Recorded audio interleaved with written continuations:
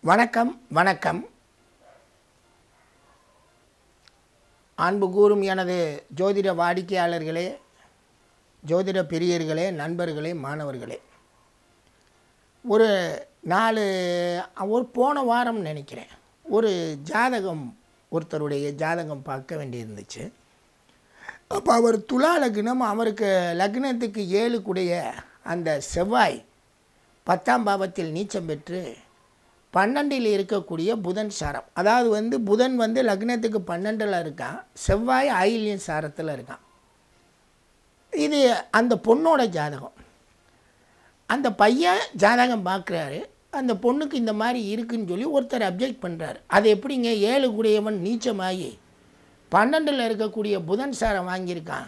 அதனால் கணவருடைய உயிருக்கு பாதிப்பு வரும் இல்லைங்க அது எப்படிங்க இந்த பொண்ணை கல்யாணம் பண்ணுறது அப்படின்னு நேரடியாகவே என்கிட்ட கேட்குறாங்க நான் சொன்னேன் இந்த திசையும் வரப்போகிறது கிடையாது. இந்த மாதிரியான பாதிப்பு உள்ளவங்க உலகத்தில் பல கோடி பேர் இருக்காங்க. அதுவும் ஏழாம் அதிபதி நீச்சமானவங்க நிறைய பேர் இருப்பாங்க.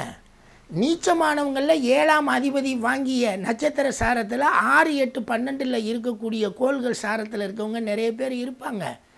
அவங்க யாருக்கு கணவனோ மனைவியோ இறப்பதற்கு வாய்ப்பு இல்லை தயவுசெய்து இதை நீங்கள் கல்யாணம் பண்ணுங்கள் இது ஒரு பெரிய விஷயம் கிடையாது. ஏழு குடையவன் பத்தில் நீச்சமாயிருக்கான். அவ்வளவுதான். பத்தாம் பாவத்தில் அவன் வந்து திக்கு பலம் பெற்று நீச்சமாயிருக்கான். அவனுடைய ஸ்ட்ரென்த்தில் நீச்சமானாலும் திக்கு பலம் அவனுக்கு ஷட்பலமும் நல்லா இருக்குது எனவே நீங்கள் தாராளம் கல்யாணம் பண்ணுங்கன்னா ஒருத்தர் சொல்கிறார் பன்னெண்டில் இருக்கக்கூடிய புதன் சாரம் வாங்கிருச்சு. அதனால் கணவர் இறந்து போயிடுவார். இந்த மாதிரியான ஒரு கருத்துக்கள் ஜோதிட உலகத்தில் இருக்காது. அவரை சொல்லி சொல்லலை. அவர் எல்லாத்தையும் கெடுத்து பார்க்குறாங்க இது பார்க்குறது நியாயம்தான் அது மறுக்கலை. ஆனால் அவருடைய பார்வையில் ஒன்று மாத்திரம் வரல. ஏழு குடையவன் நீச்சமாகிறான் ரைட்டு. அவன் எட்டாம் பாவத்திலேயோ ஆறாம் பாவத்திலேயோ பன்னெண்டாம் பாவத்திலேயோ இருந்து பன்னெண்டில் இருக்கக்கூடிய சாரம் வாங்கலை. அவன் நல்லா தான் இருக்கான் பத்தாம் பாவத்தில். அது செவ்வாய்க்கு சூரியனுக்கு பத்தாம் பாவம் வடக்க திக்கு பலம் உண்டு. அது நீச்சமானாலும் சட்பலம் மொத்தம் போடுறப்போ அது வலுவாகவும் இருந்துச்சு. அதை நான் பலமுறை சொல்லி அவங்க கோவப்படுறாங்க. ஏன்னா அவங்களுடைய சைடுக்கு நான் சரியாக வரலையா? முதல்ல அந்த பாவாதிபதி அந்த ஏழாம் அதிபதி எந்த பாவத்தில் இருக்கிறான்? அவன் நல்ல பாவத்தில் இருக்கிறான். முடிஞ்சு போச்சு. அவன் நீச்சமாக இருக்கிறான். இருந்துட்டு போகட்டும். அந்த நீச்சமான கோல் பன்னெண்டில் இருக்க புதன் சாரம் வாங்குது வாங்கிட்டு போகுது. அது தசாபுத்தி நடக்கிறப்ப செலவுகளை கொடுக்கும் அப்படின்னு நம்ம எடுத்துக்கலாம். பாவாதிபதி நீச்சம். பன்னெண்டில் இருக்க புதன் சாரம் அதனால் கணவர் இறந்துருவார்னு சொல்கிறது எந்த அளவுக்கு ஜோதிட ஆய்வறிவை அது செய்ய விடாமல் பார்த்துருக்குன்னு பாருங்கள் ஆய்வறிவு இல்லை. இப்போ நான் ஒரு என்கிட்ட இருக்கக்கூடிய தீசிஸில் ஒன்று ரெண்டு மூணு நாலு அஞ்சு ஒரு ஆறு தீசிஸ் எடுத்திருக்கேன். ஒரு முந்நூறு ஜாதகம் முந்நூற்றம்பது ஜாதகம் வருது.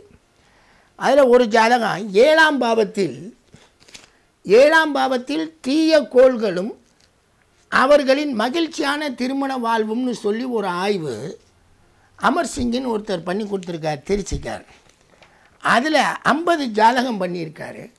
அதில் கிட்டத்தட்ட ஒன்று ரெண்டு மூணு நாலு அஞ்சு ஜாதகம்.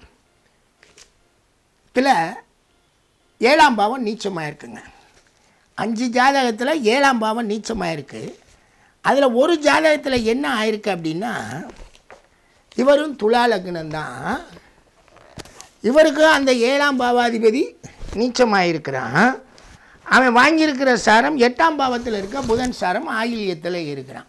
ஆனால் இந்த தங்கேஸ்வரன் அறுபத்தி மூணில் பிறந்து இவருக்கு வந்து கல்யாணம் இருபத்தாறு வயதில் நடைபெற்று உள்ளது இருபத்தாறு வயதில் திருமணம் நடைபெற்றுள்ளது. இன்று வரை மகிழ்ச்சியாக வாழ்ந்து வருகிறார்.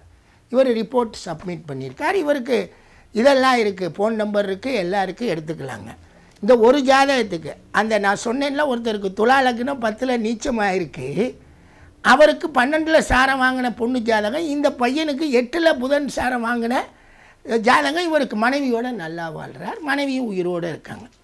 இது மாதிரி மொத்தம் வந்து இதே மாதிரி கிடையாது. வேறு வேறு சாரம் வேறு வேறு பாவத்தில் உள்ள கோள்கள். நான் தீய பாவத்துக்காக ஒன்று ரெண்டு மூணு ஜாதகம் இருக்குது மீதி கிட்டத்தட்ட மொத்தம் முந்நூற்றம்பது ஜாதகத்தில் இருபது ஜாதகத்தில் ஏழாம் பாவம் நீச்சமாக இருக்குங்க. இருபது ஜாதகத்தில் அதில் ஒரு அஞ்சு இதில் ஒரு அஞ்சு என்ன இதில் ஒரு மூணு பத்து பதிமூணு இதில் ஒரு ரெண்டு பதினஞ்சு பதினஞ்சு இதில் ஒரு நாலு பதினஞ்சு நாலு பத்தொம்போது ரெண்டு இருபத்தோரு ஜாதகத்தில் மொத்தம் ஆறு ப்ராஜெக்டில் இருபத்தோரு ஜாதகத்தில் ஏழாம் பாவம் நீச்சமாக இருக்குங்க.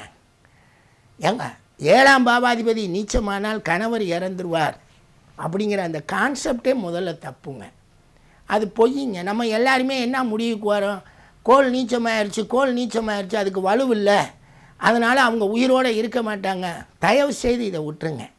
இந்த உலகத்தில் ஏழாம் பாவம் நீச்சமானவங்க பொதுவாக பன்னெண்டு லக்னத்துக்கு எடுத்துக்கிட்டோம்னா அதுலேயே அறுபது அறுபத்தஞ்சு கோடி பேர் வருவாங்க.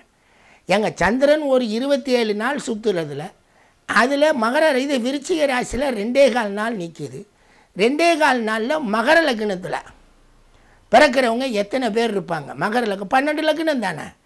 அப்போ மகர லக்னத்தில் பிறந்தவங்க அத்தனை பேருக்கும் மகர லக்னம் விருச்சிக ராசினா ஏழு கூடிய நேரடியாக நீச்சம். அதே மாதிரி பார்த்தீங்கன்னா கும்பலக்னம்.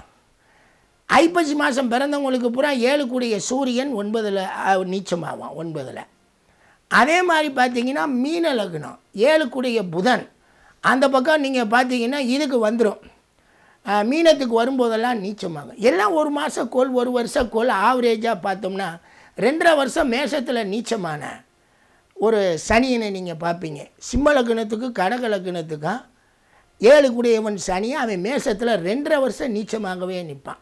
டெய்லி கடக லக்னமும் ரிஷப லக்னம் இது சிம்ம லக்னமும் நாலு மணி நேரத்துக்கு வந்து போகும். இருபத்தி நாலு மணி நேரத்தில் நாலு மணி நேரம் பிறக்கக்கூடியவங்களுக்கு ஏழு கூடிய அந்த சனி நீச்சமாமா ஆவரேஜாக எடுத்துக்கிட்டாலும் நீச்சம்ங்கிறதுனால பயப்படாதீங்க. தயவு செய்து எத்தனையோ பேருக்கு நீச்சமாக இருக்குது இப்போ நான் நீச்சமான லக்னாதிபதி நீச்சமான ஆள் தான் ஏன் நான் ஒரு பேராசிரியராக வந்துட்டு நான் பாட்டுக்கு வந்து உட்காந்துக்கிட்டேன் எங்கள் மேடம் ஒருத்தவங்க வ- எங்கிட்ட படித்தாங்க அவங்க காமர்ஸ் ப்ரொஃபஸர் டாக்டர் அவங்க.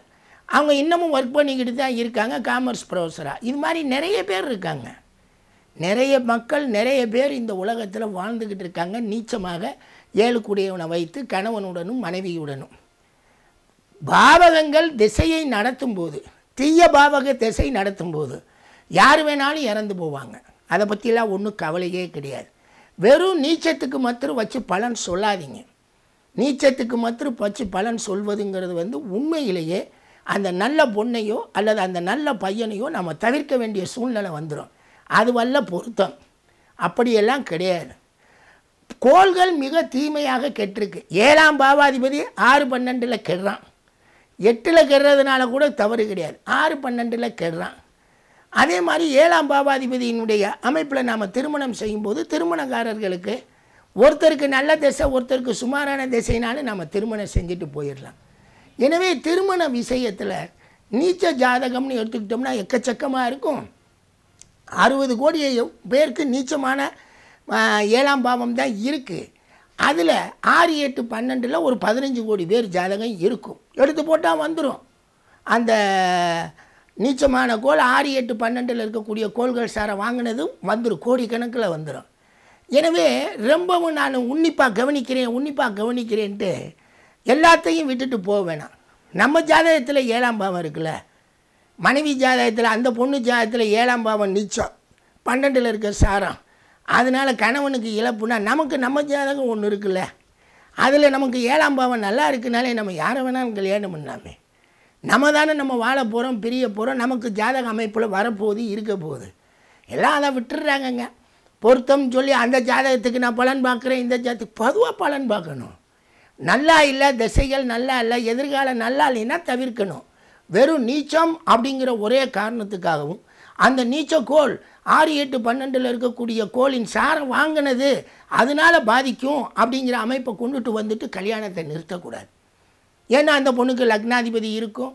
ஏழாம் பாவாதிபதி கெட்டு போய் அது கெட்ட சாரம் வாங்கினா நீங்கள் சொல்கிறத ஒத்துக்கலாம்.